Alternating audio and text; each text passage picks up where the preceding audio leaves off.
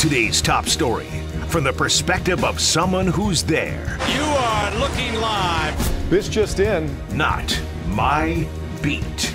Now, Kevin Sheehan has been here, so to speak, uh, his whole life in DC as a Commanders burgundy and gold of all varieties and names fan. And thus, Kevin, we thought you, uh, as as you are kindly called uh, Professor Sheehan often by by the good doctor, Doc Walker, are the perfect person to uh, go down go down the history lesson with. Are you ready to put your prof- professorial hat on for us? Oh yeah. Um, I mean, do I did I qualify for that level? I mean, actually, Smoot calls me professor. I didn't know Doc called me professor. I, too, I feel like I've, I mean I know Doc quite, calls you Coach Sheehan. It's quite an honor to be called, you know, whatever uh, any any name by these guys. But go ahead. What what's up? Yeah, so Anthony had a good question the other day. He's like, "Is this the most important draft in franchise history?" Which, for a franchise that's hundred years old almost, is a pretty large question. But when you think of like the most important drafts in the history of the Burgundy and Gold, what are the the years that come to mind, and how would you even go about like framing that question? Because I feel like sometimes it's even hard to tell in real time. Although this one with the number two pick, the new everything feels like we know ahead of time. It's pretty important. Yeah, I think this is it, Craig. I mean, you know, I'm just trying to think. Um, you know, any year that they've had a top level pick with a need of quarterback coming off bad seasons were probably really important. 2012 obviously comes to mind. Yep. Um, 2020, uh, 2019 comes to mind, although they didn't have the number two pick in that draft. No, this one feels, look, from a business standpoint, they still don't have everybody back on board. You know, those games last year, the tickets sold were still primarily to the opponent's fan base after the opener against Arizona. Um, they still have people wondering what this new group will be a, a, about. It's great not to have Dan here. That's a step in the right direction. You know, there's a lot of complexity to, to other things surrounding this franchise. Winning has to happen, you know, for every for the largest percentage of people that are out there on the fence on whether or not they're going to jump back in or not. Winning's big, and getting number two right will go a long way towards you know deciding whether or not they win anytime in the near future. So that feels big, and then the fact that they've got six picks in the top 100 as they're trying to remake the roster. There's a huge opportunity if they hit on, say, the majority of those or even half of those to make a big difference. This one feels like the most important one, even in my lifetime of, you know, rooting for this team. The Norv Turner year, um, when they were awful in 93 uh, with Richie Petitbon, two years removed from winning the Super Bowl, that felt really big because it was kind of a regime change. Charlie was still here, but they were going to pick a quarterback. It was either going to be Heath Shuler or Trent Dilfer. They got it wrong, and they were not very good for many years. Um, but this one feels really big. It does. And I think when you have number two and you're going to take a quarterback, it, it obviously jumps very high on the list. Um, Definitely. Ant, Ant didn't just uh, didn't just ask the question. He did some research. So here's some of the nominees, and I'm curious your reflections of these um, you know, obviously at the time, and then uh, in hindsight, unfortunately for most of them, or I guess for two of the three that, that he lists out here, uh, how quickly you realize it had gone horribly wrong. 2012 is is RG3. That's obvious, and it looked like it went as right as it could go in year one, and then and then we all know it goes sideways. In 2000, they had picks two and three that year, and it was the first yeah, full off season where Dan Snyder was in control of the team, and and of course that's the Fortune 500 year, if you will, spend a fortune, go 500. And then on the good side, uh, 1981, Bobby Beathard uh, in the first full off season of Joe Gibbs drafts Mark May, Russ Grimm, Dexter Manley, Charlie Brown, Darryl uh, Grant. Uh, amongst others, also signed this uh, this undrafted free agent named Joe Jacoby, who turned out to be all right.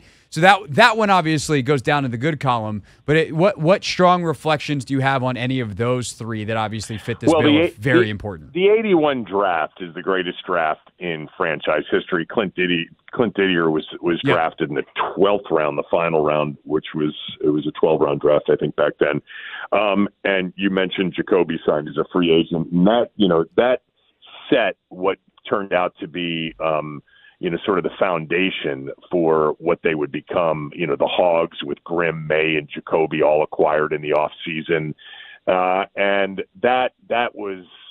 They, I mean, Bobby Beathard hit on just about everything, and Bobby Beathard, by the way, it was unusual for them to have a first round pick because George Allen had essentially traded most of their first round picks away, and even Beathard moved on from some first rounders. The year before 81 was the first first round pick I think they had had in maybe a decade when they selected Art Monk. But the 2000 off season, um, in terms of free agency, was really what set this franchise back more than the drafted because LaVar, look, LaVar was a really good player he just couldn't stay healthy. Um, and Chris Samuels is, you know, up there among the, and he's on the short list of the greatest left tackles in franchise history. Um, 2012, I mean, yeah, I mean it's it's the RG three draft. Uh, I was okay with what they did. I was perfectly fine, and I was trusting in Mike Shanahan that they had made that big trade with the Rams. They needed a quarterback desperately. It was Grossman, it was Beck. Um, you know, neither one of those two guys were guys that Mike thought he could win big with. He waited for the opportunity. Obviously, it would have been better to have number one overall and pick Luck. Um, but I was okay with what they did with Robert, and I was also okay with them drafting Cousins in the fourth round because you know there was a lot that was unknown about RG3, and you needed two anyway. And we had seen examples previously. I mean, Washington had drafted Shuler, and then they drafted Gus Frerotte in the seventh round, and it turned out that Frerotte had the much longer career. But yeah, 2012 was big for sure. They didn't get much right other than Alfred Morris after that, if my memory serves me correctly. Well, they didn't have a lot of picks, obviously, too, because there was, I mean, there was the three first for Robert, yeah. but I think some other they had late round picks. Yeah, yeah um, and I, I, mean, shoot, they got Cousins right, um, just yeah. and messed it up later. Uh, Kevin Sheehan's with us here on the Hoffman Show, taking a bit of a trip down memory lane in Washington draft history. Um, that said, you know, when we look at this current one, I, I actually got asked a similar question kind of how important is it to nail number two when I was taping something earlier today for for TV with Natalie uh, over at ABC Seven, and I was like, my my inclination is they got to get it right because it's number two and it's quarterback. But then again, Adam Peters last time drafting a quarterback high was Trey Lance, and he messed that up uh, along with, with everyone else in San Francisco, and it worked out just fine. They played in multiple Super Bowls, and then they accidentally drafted their franchise quarterback as Mr. Irrelevant. So I, I guess I'll, I'll ask you the same question and let you take it wherever you want, Kevin. But like, how how right do they need to get number two? And if they they miss here, considering it's a natural pick, unlike RG where they trade up and give a bunch of capital away, like how far does it set you back if they don't get this right?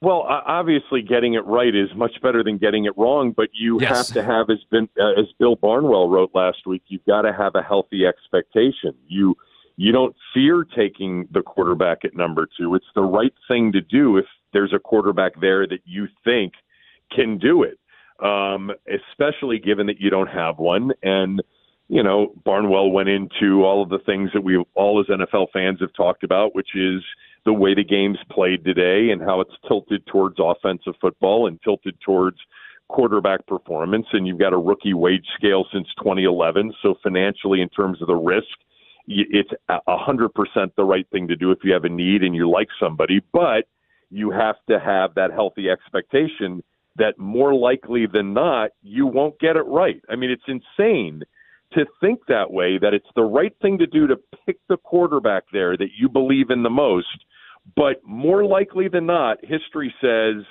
you won't get what you hope you're getting. Um, so I don't know. You got to take the quarterback. You got to take the one that you really like and is the highest one on your board.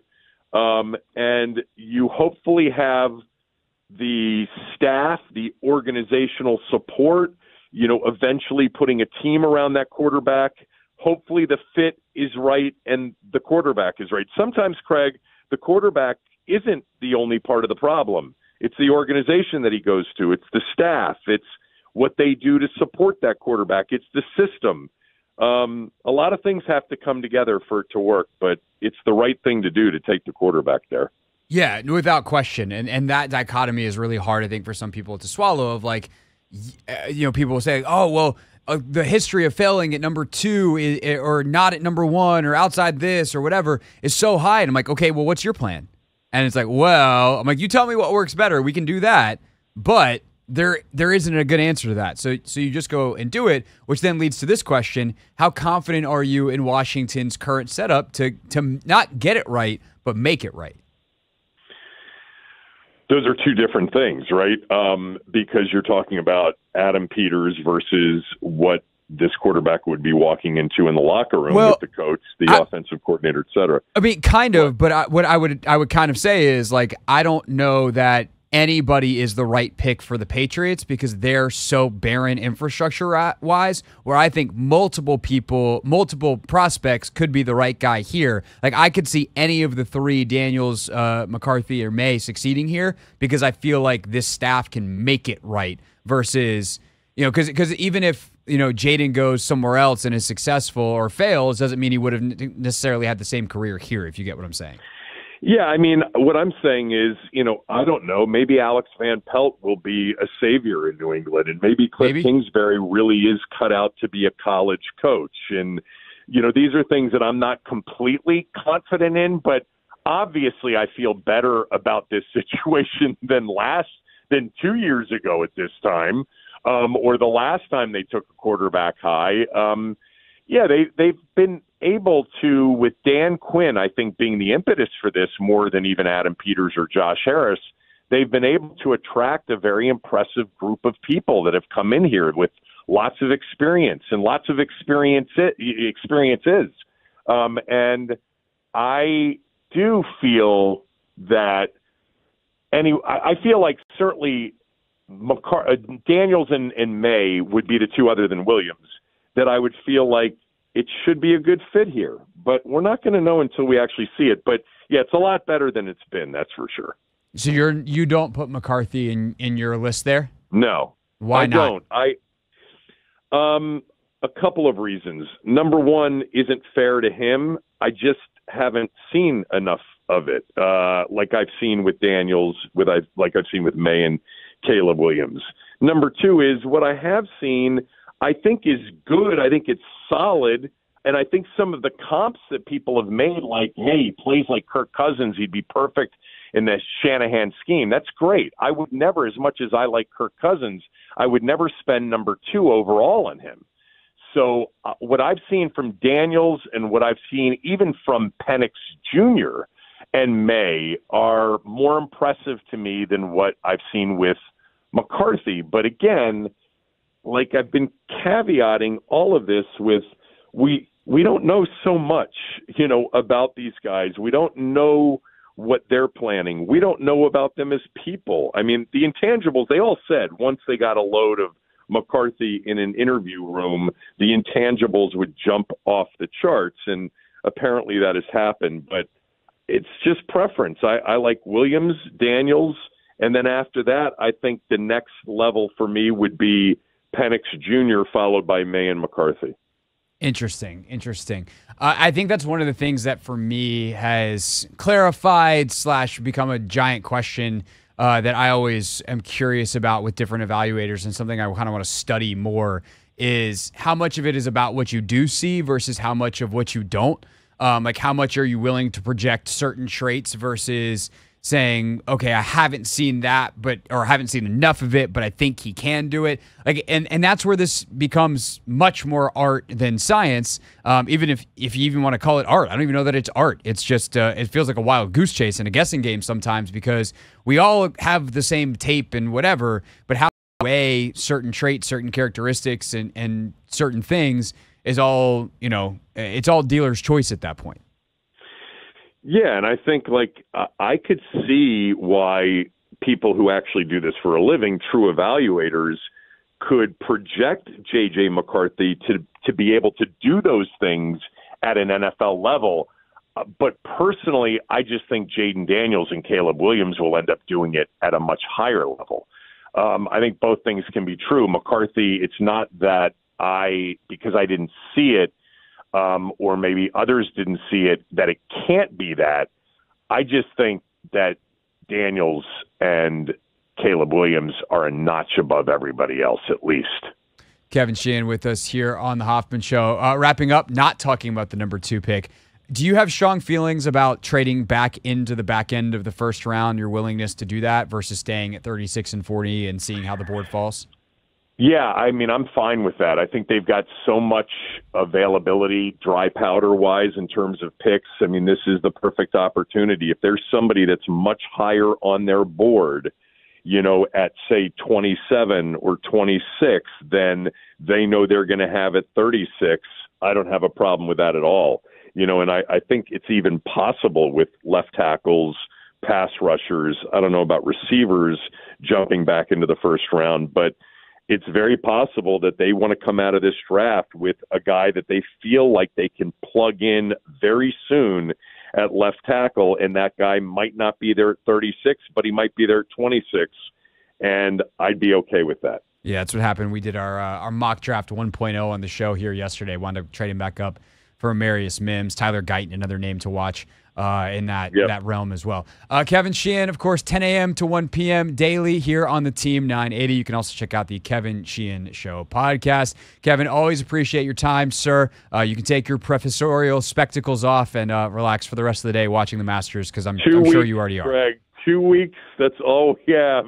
I know. Oh, I know. Here fast enough. I'll be sitting in, in Detroit somewhere in two weeks, so that'll be right, that'll be a good well, time. I'll talk to you the day of. Hopefully. All right. Yep. Definitely. Sounds good. All right. Thanks, Kevin. That is Kevin Sheehan with us here on the Hoffman Show.